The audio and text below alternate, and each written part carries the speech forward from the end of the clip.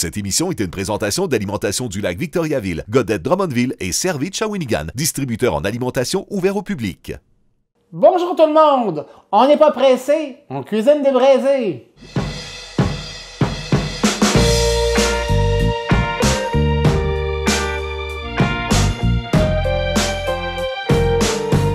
Aujourd'hui, j'avais vraiment vous, envie de vous donner des techniques, une technique de ce qu'on appelle le braisé. Des pièces de viande qu'on peut prendre euh, des fois d'un peu moins de qualité. Puis comme c'est une cuisson à long, terme, elle va venir plus, friable, plus fragile, plus moelleuse aussi, ce que ça va être tout et tout agréable. C'est sûr que c'est des cuissons longues, un peu plus longues. Souvent, maintenant, on les euh, fait au croque-pot, mais euh, moi, la technique que je vais vous montrer, c'est la technique au four. On va en faire trois différents. Il va y avoir un avec un gigot d'agneau, un autre avec un rôti de porc classique et des cubes de bœuf.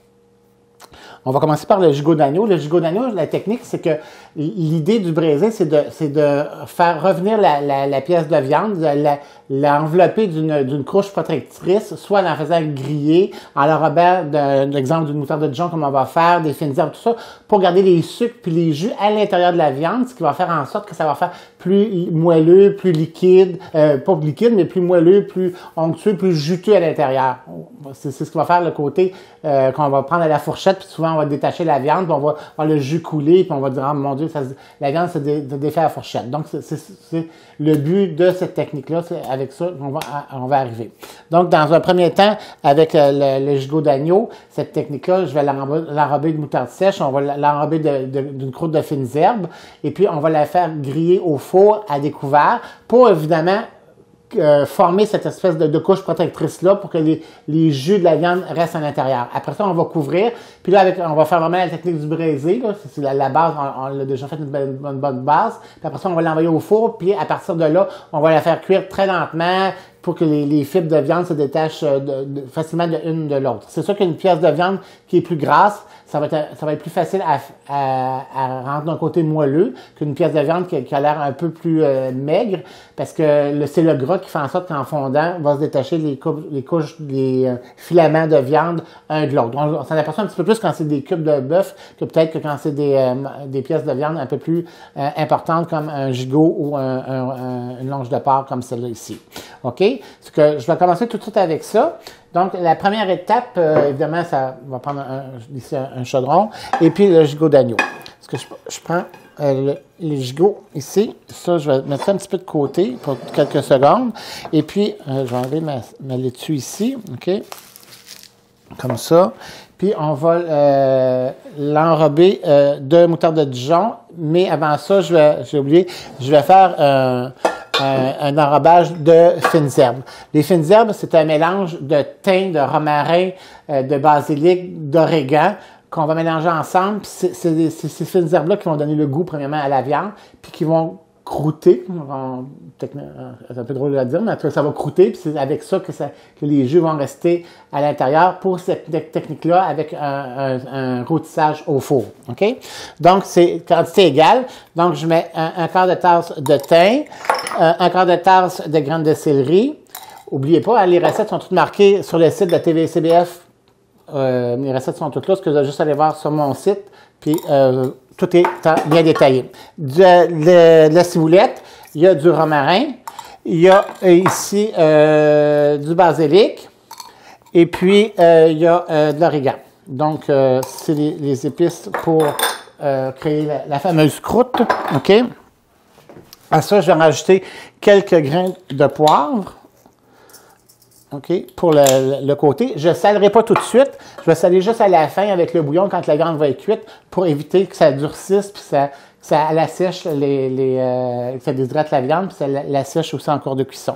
Aussi, une petite affaire, j'ai oublié de vous mentionner, le, le bouillon pour, euh, euh, pour faire cuire les pièces de viande, ça peut être soit du bouillon de bœuf, ça peut être du vin rouge, euh, ça pourrait être juste de l'eau aussi.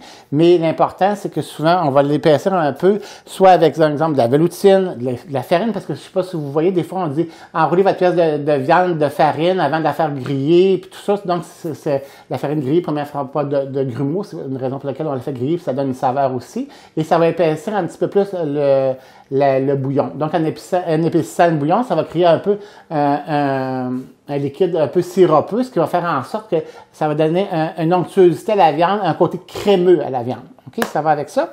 Que ça ici, je mélange ça comme il faut. Ça paraît beaucoup, mais vous allez voir qu'une fois que la pièce de viande est, en, tout emballée, c'est pas si pire que ça. Donc, je vais prendre la moutarde de Dijon. Ça va prendre, pour les gigots d'agneau, ça va prendre une bonne demi-tasse de moutarde de Dijon, environ, pour faire le tour de la, pièce de viande. Fait que, je vais y aller au pinceau aussi.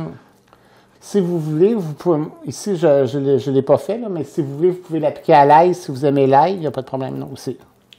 Donc, la, moutarde de Dijon va vraiment créer une croûte alentour de la viande. Puis en plus, ça va donner beaucoup de saveur à la viande. C'est une raison pour lesquelles que je mets de la moutarde de Dijon. Donc, euh, on voit. Je vais déposer ça là-dessus. Une fois que cette partie est faite, on vient enrober complètement la viande de, des herbes. Et on n'a pas peur de coller ça dessus. Ça sent vraiment bon, je vous jure.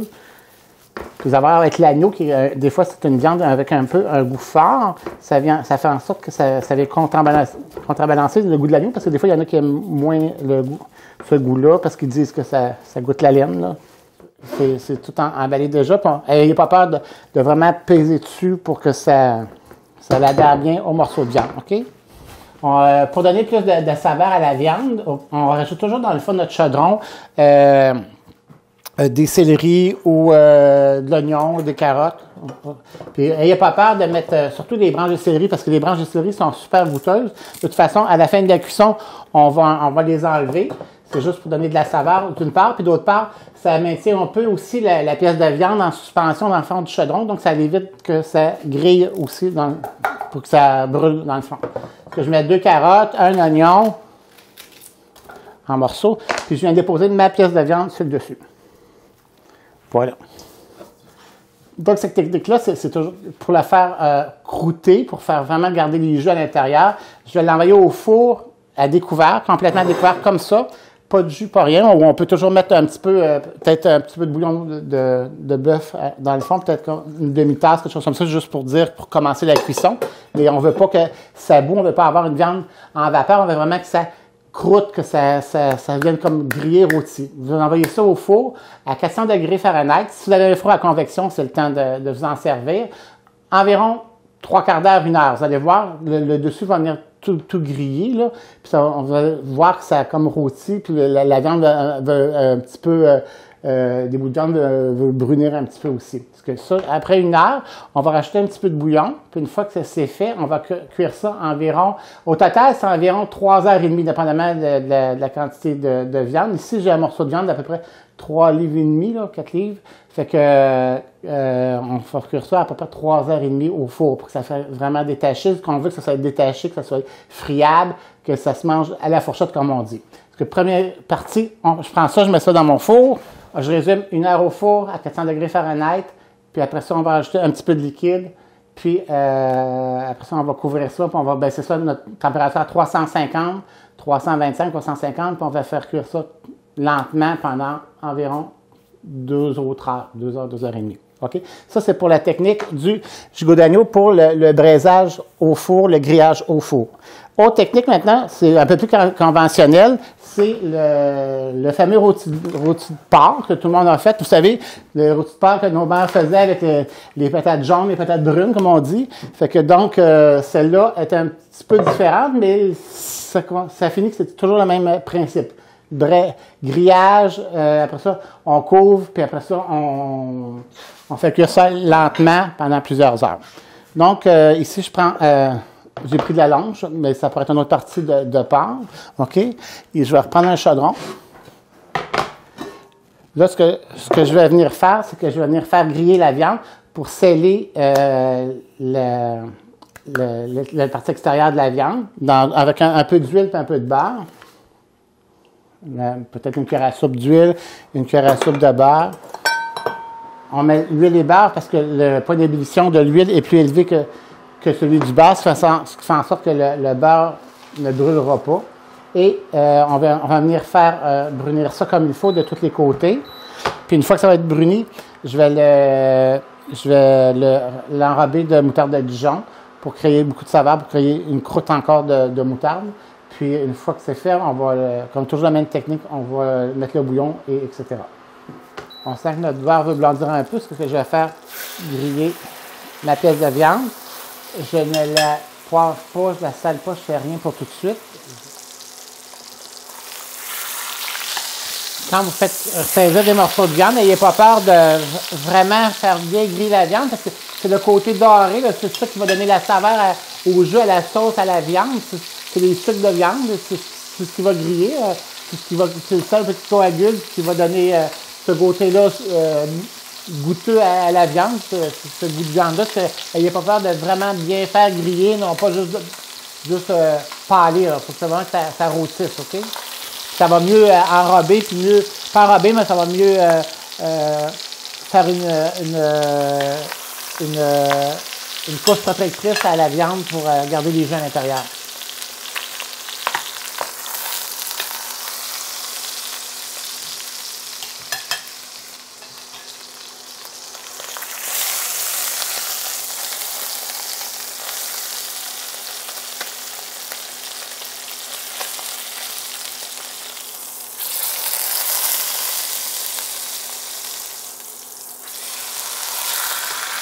La différence tantôt, c'était comme rosé, puis là, c'est comme grillé. C'est ce qu'on veut. Je vais laisser un peu griller, parce qu'on va la moutarder. Donc, une fois que c'est bien coloré, je vais retirer mon morceau de viande pour le moutarder. Puis ça ici, je laisse ça comme ça, mais le, fond, le fond de cuisson, c'est ce qui va donner la, saveur puis le goût à la sauce. Puis on va laisser un peu le gras, on l'enlèvera après. C'est ce qui va faire en sorte que la, viande va être plus moelleuse. Donc, je reprends, euh, je vais mettre ça euh, ici. Je reprends encore de la moutarde de Dijon. Cette fois-ci, ça va en prendre moins que tantôt, peut-être euh, genre un quart de tasse, vous allez en avoir amplement. C'est juste pour donner plus de saveur à la viande. Moi, j'aime bien les enrobés de, de Dijon.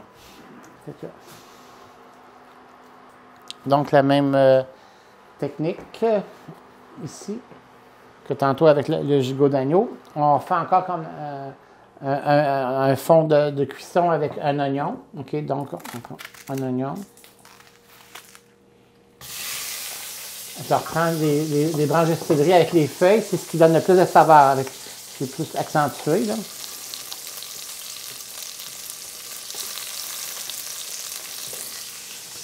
On peut en mettre deux, deux, trois sans problème.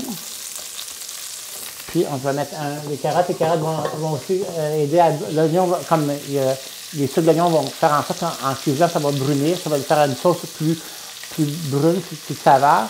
Puis les carottes, va faire une sauce un peu plus sucrée, parce que le côté sucré de la carotte.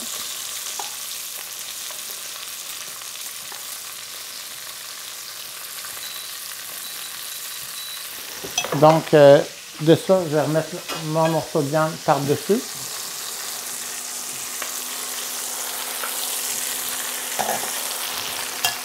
Là, je vais venir poivrer un petit peu. Je ne sale pas tout de suite non plus. Je ne vais pas faire durcir mon morceau de viande.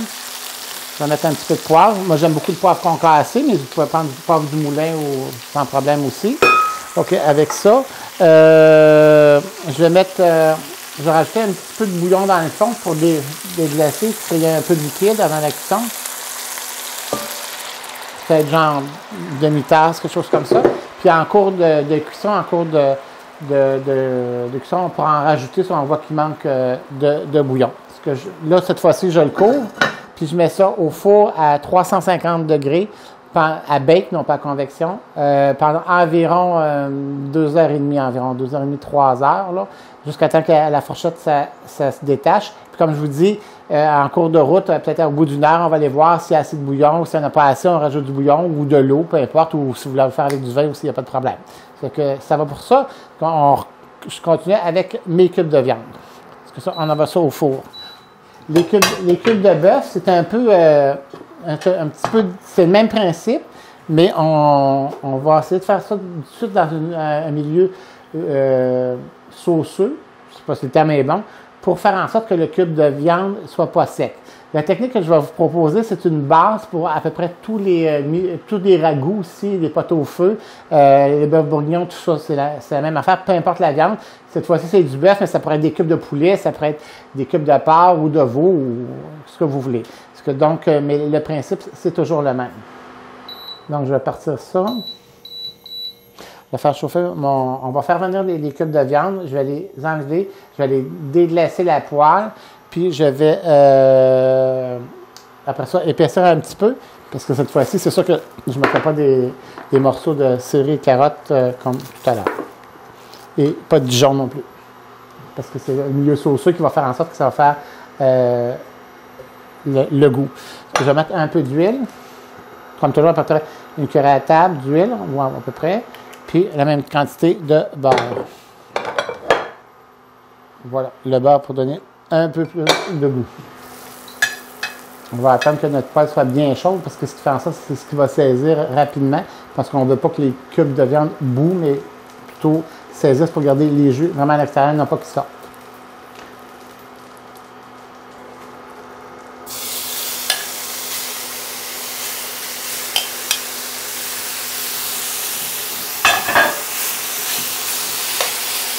Il faut oublier quand vous faites saisir des, euh, cubes, des morceaux de viande, comme j'ai fait tout à l'heure, ou des cubes de, viande, il faut éviter de les brasser continuellement. Parce que si vous les brassez, ils n'auront pas le temps de rôtir, de griller. Puis le grillage, les sucres qui, qui rôtissent, c'est ça qui donne le goût euh, accentué à la, viande, le bon goût de, viande.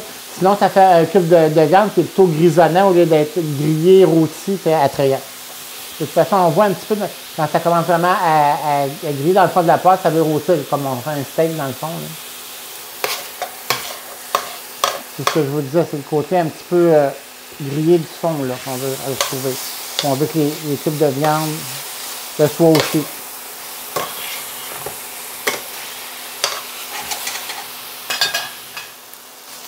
on voit que nos cubes de viande commencent à rôtir, on voit que le fond s'arrossit, puis on sait ce qu'on veut pour vraiment bien caraméliser les sucres pour donner du goût à la sauce.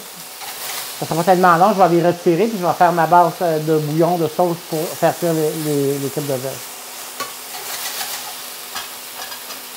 On voit ici les, morceaux de viande, ici, ici, ici. C'est ce qu'on veut retrouver, le côté euh, rôti des morceaux de viande. Je vais ajouter euh, un petit oignon haché dans, ce cas ici. Va faire en sorte que ça va donner aussi du goût à la viande, évidemment. Et on va le faire rôtir un peu aussi, ce qui va donner encore plus de saveur.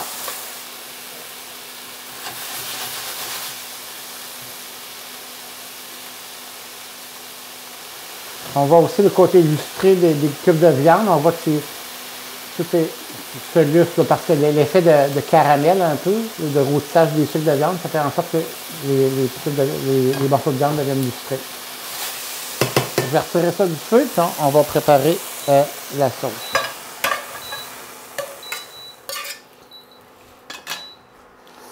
OK. Pour euh, cette fois-ci, on va le faire avec du vin rouge. Donc, ça va prendre environ euh, deux tasses de vin rouge qu'on va venir déglacer le fond.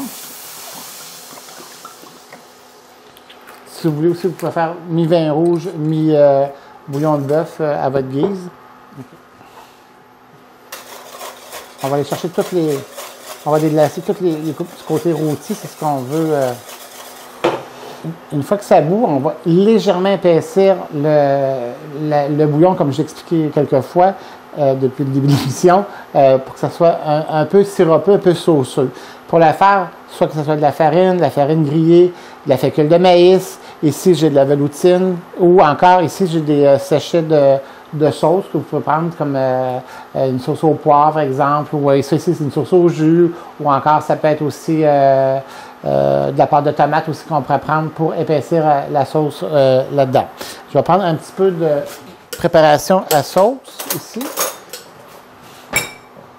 Que je vais, je vais délayer un peu dans de l'eau froide c'est équivaut à peu près à un, sachet pour la, quantité ici, Donc, quand ça bout bien, on vient juste. C'est comme je dis, c'est vraiment le principe de base du bœuf bourguignon, des mijotés, euh, du stroganoff, peu importe. Ne faut pas que ça soit trop épais non plus, parce que si, si le, votre bouillon devient trop épais, en fait, quand ça va cuire au four, ça va évidemment encore épaissir. À ce moment-là, toute la, viande va tout prendre dans un pain, c'est pas ce qu'on veut. Faut vraiment que ça soit un peu comme. Euh, sirupeux. Je pense qu'on peut voir ici, là, mais euh, on, sent que euh, c'est un petit peu plus, euh, c'est moins liquide un petit peu là. Bon, là, c'est parfait.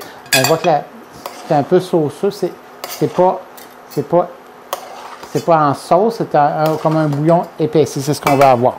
Parce que de là, je vais remettre les cubes de viande à l'intérieur.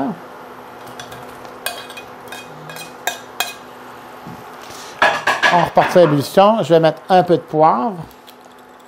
Dans ce cas ici, vu que j'ai pris une base de sauce euh, pour épaissir, euh, à ce moment-là, contrairement à ça avait été de la, veloutine ou euh, de la farine, j'aurais dû mettre un peu de sel, mais là, j'en mettrai pas. Je vais rectifier jusqu'à la fin. Je vais mettre quelques grains de poivre, puis je vais mettre deux, trois feuilles de laurier.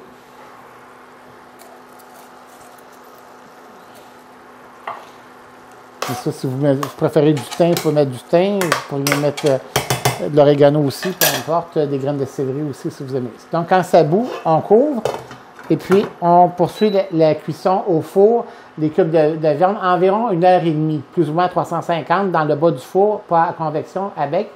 Et puis euh, une fois que une heure et demie, une heure trois quarts, là, OK? Et puis, euh, en cours de route, on rectifie l'intensité de la sauce, c'est-à-dire que si on voit que ça le cuit beaucoup, puis que euh, c'est trop épais, on rajoute un peu d'eau ou de bouillon ou de vin, peu importe ce qu'on a choisi à la base. Puis on, surveille ça euh, tout le temps comme ça. Ça fait qu'on se revoit dans quelques heures avec le résultat final.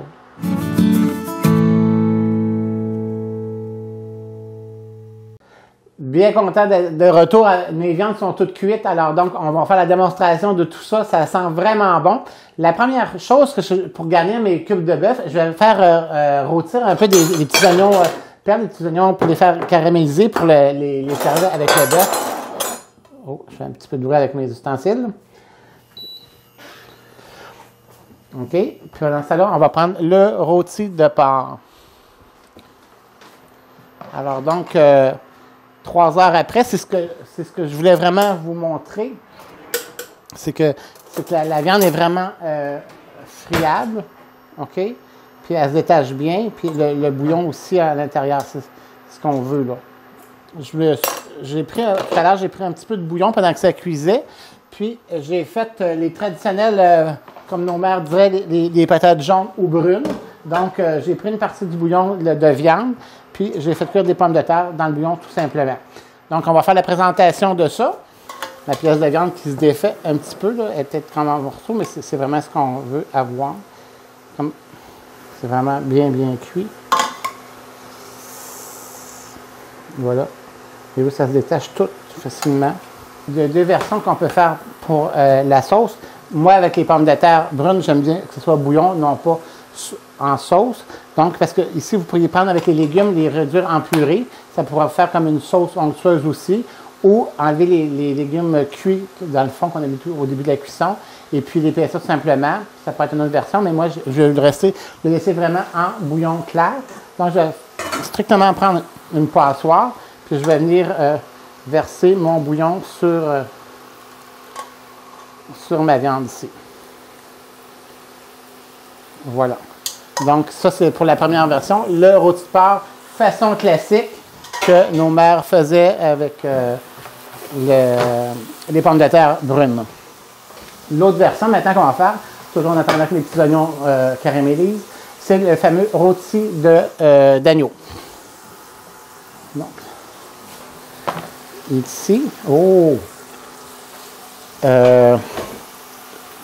Donc, euh, comme vous pouvez voir, toutes les, épices sont vraiment grillées, puis ils s'effilochent toutes euh, en morceaux. OK? Si vous voulez, euh, là, ça a peut-être le temps de, saler un petit peu notre bouillon. J'ai oublié de saler l'autre tout à l'heure, mais on peut saler un peu. Puis, on va faire une présentation de la même façon. Pour accompagner le gigot d'agneau, je vais faire des légumes ici, des, petites carottes du, jardin, avec des haricots. Euh, que j'ai préparé, euh, que j'ai blanchi. Là, euh, vous n'oubliez pas, hein, le, gigot d'agneau, je répète vite la, façon de le faire. On le prend, on le moutarde, on, le roule dans les épices mélangées, thym, graines de céleri, romarin, basique, etc. Et puis, on envoie ça comme ça, non couvert au four à 400 pendant environ trois quarts d'heure, une heure. Quand c'est bien comme croûté, on rajoute un peu de liquide dans le fond, soit du, vin, du bouillon ou de l'eau. On couvre ça, on baisse notre four à 350 à bake, non plus à convection comme à 400. Et puis on laisse cuire ça environ 2h30. Au total, ça fait prendre un bon 3h30, presque 4 heures pour l'agneau. Tu sais si je vais arrêter ça, c'est prêt. OK, donc mon gigot d'agneau se détache très très bien. Et je vous jure, ça sent vraiment bon.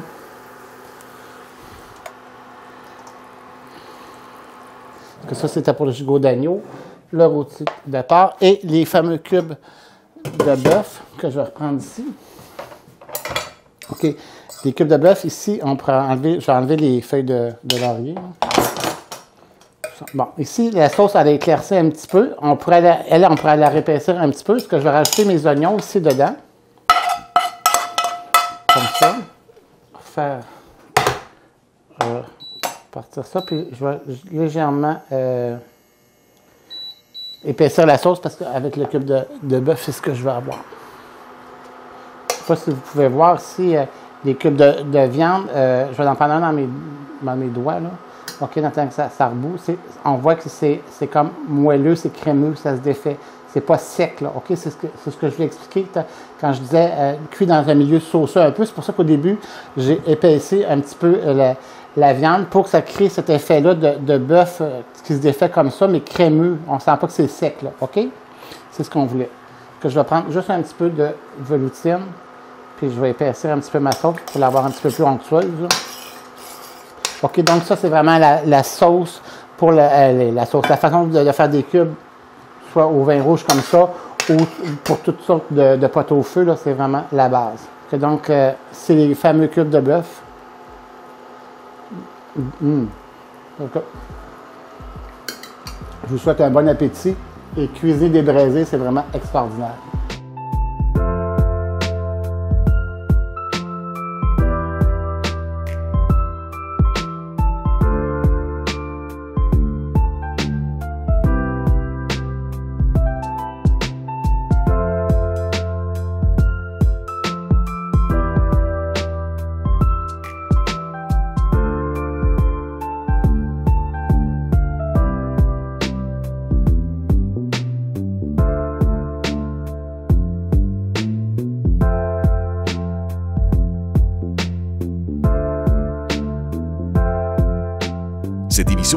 D'alimentation du lac Victoriaville, Godet Drummondville et Servit Shawinigan, distributeur en alimentation ouvert au public.